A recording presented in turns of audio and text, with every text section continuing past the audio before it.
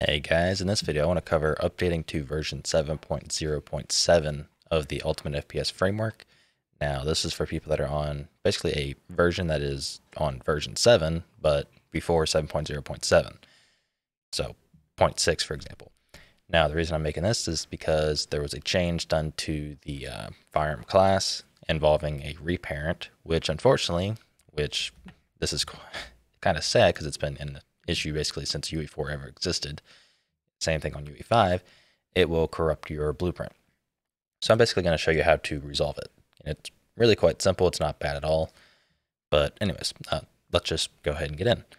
Now I have, it's the version on this plugin or on this project right now is technically 7.0.7, but it was, it's basically 7.0.6. I just renamed it and copied it over, but it's missing all the new changes. So what we're going to do, here I have my marketplace folder with the new plugin. I'm actually going to go ahead and close down the editor real quick. I'm going to go ahead and cut out of the marketplace folder. Screw you, go away. Go to plugins, and I'm going to, I'm in the wrong folder. Go to the plugins folder, delete the old FPS framework, and paste the new one in. Now, the reason I recommend you delete the old one is for the case of basically uh, stacking binaries so you might not, it might not, you know, get rid of your binaries and intermediates. Like it might not replace them. So you might end up with duplicates, just gradually increasing your size. From there, if you have a C++ project, it might not be a bad idea to go ahead and regenerate project files. So in my case, I do. Uh, in your case, you probably don't have to if you're on a blueprint project, which you, if you have this issue, you may have to convert to a C++ project. And I'll show you how to do that and then revert back here in a second. So let me finish this. Okay, now that that's done, uh, basically you can see the new class under the plugins, public actors. You'll see there's a firearm base class now. So firearm is basically the normal class that you are using. Firearm base is a new one, and it is the parent of the firearm. So anyways, now that that's done, let's go ahead and run the project, get everything opened up. Now that it's doing that, I think there might have been some changes from the version I'm on to when to the new version with the attachment. So I might have to fix some small stuff there, but we'll see. All right, yeah, so there's some small stuff. So uh, let me go ahead and I'll go through and I'll show you an example on how to fix these, which most likely you will not actually have this problem. But under the TC attachment component, we have this issue of component name. So basically, if I search for component name off the uh, attachment, we now have some getters. So get component name, get name string, and get name text, which basically auto convert it. So you can plug it directly in without having to do any sort of casting because I changed the uh, component name from a f text to a f name instead. And most likely it's going to be kind of the same thing. So go there, get, yeah, same thing. So let me finish these up. Okay, so this one on the uh, character here, this is because this got renamed as well as because it's more of a general use, I guess you could say system now. It's changed from on fire and pose finished to, if you just search for pose finished, on held actor pose finished. So we're going to do that. We're going to bind that event and replace it with that, even though it's not used for anything, but you know, still. So I'm going to do that to the other character really quick. That'll be this example.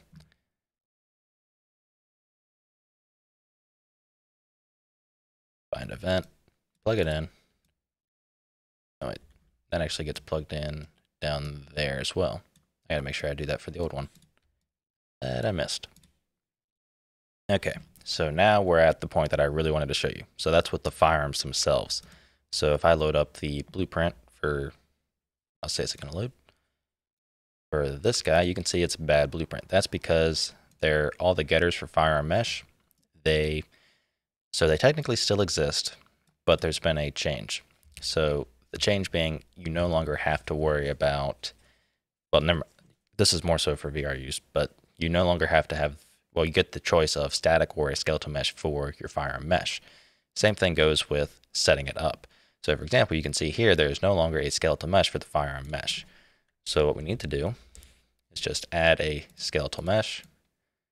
You can make that the new parent and let's make that the M4 receivers. It'll fix itself when you actually save it. File save.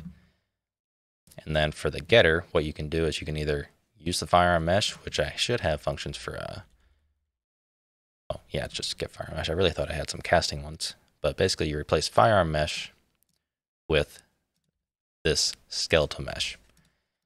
And then what you want to do as well to make sure, select your skeletal mesh, go to tag, give it the component tag of SKG firearm. And that'll take care of that. It'll automatically set the firearm mesh just from that alone. So same thing, paste it in. And again, this is just for the example content. So your mileage may vary a bit. You can directly get the firearm mesh if you want, cast it to a skeletal mesh, and you'll have the same result. But there we go. I close that down. I actually need to reopen that at some point. But let's go ahead and fix up the tutorial M4 because we're going to do both of these to show you an example with multiple firearms. So again, exact same deal. Let's go ahead and add a skeletal mesh. And make that the parent. I'm trying to remember which one this was. It was like AT or no AR4. I'm assume it was this guy. Yeah, that looks right. So we're gonna save that. Click on it. Give it the component tag of SKG firearm. File save. Let's go ahead and drag this out, copy it, and start replacing all of the firearm mesh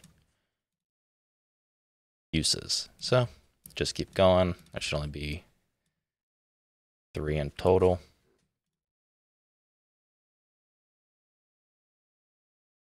Just like so.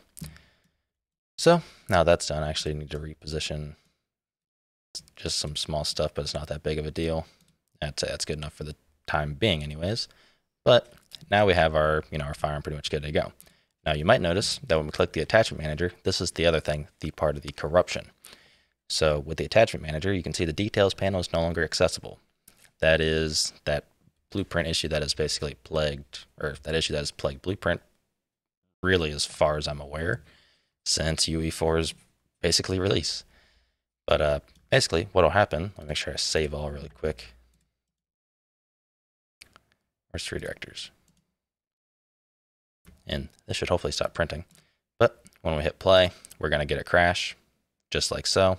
And the crash will be something about the attachment manager. So get all attachment components from the attachment manager. Now, the reason that's happening is because even though the attachment manager technically exists and is valid, something along the lines in Blueprint, as it was added, like it's even there, it's in the C++ class, but something in Blueprint just corrupts it. I don't know what it is. I don't even know why it actually happens, but it does. Now, the way to resolve this is we go to skg firearm base.h and .cpp. Very simple. So line 25, where we have the U property for the attachment manager, comment that out, go to the .cpp, find the line 21 for the attachment manager, utils create default subobject.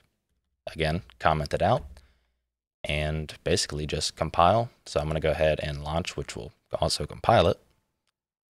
All right, now that we've relaunched, let's go ahead and open the asset editor or the asset back up. So here's that M4 again. And you can see there's no, um, what do you call it, attachment manager. So I want to open that. I want to open up my other firearm, which in the example content. So I'm just going to have both of these open. I really need to reposition some of this, but all we have to do is just hit compile, save, compile, save. Once we've done that, close the editor. We're going to uncomment those lines with the two forward slashes and just compile and relaunch. All right, let's go ahead and load up the two blueprints. And if we click on the attachment manager, you can see we now have the details panel back. So we know that our blueprints are now good to go and resolved. So just going to go ahead and save. And when I hit play, we no longer get a crash. And yeah, I know the muzzle's up there, but everything is good to go like before. So that's really all there is to it. It's not complicated, but I did mention that I want to show you for blueprint projects. Now, let's assume this is a blueprint project. How can you go from a blueprint project to a C++ project? And then if you really want to, which I don't recommend, go back to a blueprint project. So what you can do is up here on tools, just hit new C++ class, and you can just create a none. Just next, then hit create class. What that's going to do is that's going to generate the solution. It's going to generate all the project files and everything like that that you would need. Once that is all done, close down your editor. Close, there we go. Then you want to open up the solution and you will be met with basically, yours is probably going to be different because I'm assuming you're on Visual Studio, but something like this. But you'll have your Solution Explorer either on the left-hand side or I think on Visual Studio it defaults to the right-hand side for docking. But you just go to Games, Plugins, Source, Ultimate FPS Framework, go to Public, Actors, SKG, FirearmBase.h, open that up, comment out this line here. Then you can control left or uh, left control left click on SKG Firearm base, this constructor here on line 20. Then comment out this line, compile, launch your project, do the compile and save of the blueprint, then close it, come back, uncomment this line, and uncomment this line, then compile and launch your blueprint or your project again. And once you've done that, all you really have to do is you can just go to your content folder and I'll go to tutorial. Here's my M4. Just simply move it to your desktop. Do the same thing for the other guy. Wrong folder. So here's the other M4. Just move that also to your desktop. And then what you can do is you can go back in your version control. So like git and roll back the changes. So that way you're back on a blueprint project. And once you've done that, all you can you really need to do is just drag those blueprints back in. So tutorial and back in there. And that's it. So that'll allow you to fix your blueprints from basically, it results you having to recreate them, but allows you to fix your blueprints and then revert back to a blueprint project and move the fixed blueprints back into your project. It's that's really all I can do to explain it. But anyways, I hope that helps. And as always, if you need any more help, again, I know this video is a little bit on the long side, but that's because I wanted to go in a little more detail and kind of explain this. But if you need any more help, hop in my Discord and I'll try to help you out. So I'll see you in the next video.